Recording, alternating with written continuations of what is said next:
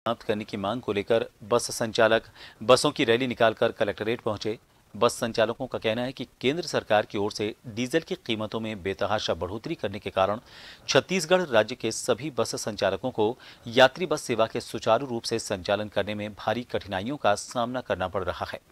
Corona महामारी के दौरान लॉकडाउन में बस संचालकों की स्थिति वैसे भी खराब हो गई है। आगे उन्होंने कहा कि उनकी मांगों पर ध्यान नहीं दिया गया तो बस संचालक, चालक, परिचालक, हेल्पर, क्लीनर अपने परिवार के सदस्यों के साथ 12 जुलाई को बूढ़ा तालाब रायपुर में धरना प्रदर्शन करेंगे। पंद्रह सत्रह महीने से डीजल डेढ़ा हो गया। पैंसठ रुपये का जो किराया बढ़ा हुआ है संतानवे, अंठानवे रुपये का डीजल हो गया और किराया वृद्धि बिल्कुल नहीं कर रहे हैं लोग। हम लोग को अट्ठाईस तारीख को पहला धरना दिए दो तारीख को सर कलेक्टर महोदय को ज्ञापन दिए। हैं आज भी बसों की रैली बारात निकाल के हम यहाँ ज्ञापन देने के लिए आए हैं।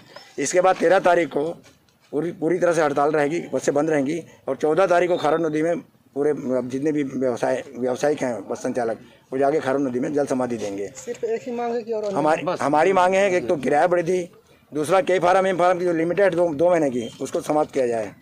क्योंकि हमारी गाड़ियाँ जो है वो जब भी संचालित नहीं हो पा रही हैं रोड में।